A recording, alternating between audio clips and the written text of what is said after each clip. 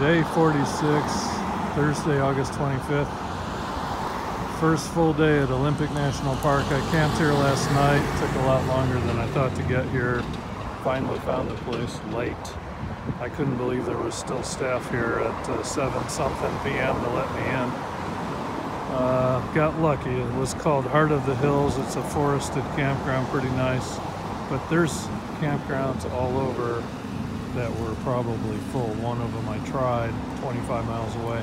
This park would take three or four hours to cross. It's huge. I'm not sure that uh, I can do it just today. I'll probably have to camp again, which is great if the weather holds. What you're seeing now is uh, the harbor at Port Angeles looking north. It's 15 minutes from my campsite and looking north would be toward uh, Vancouver Island and Victoria, British Columbia. So that's where I am at 10.30 in the morning. Going to the visitor center to get the lay of the land and figure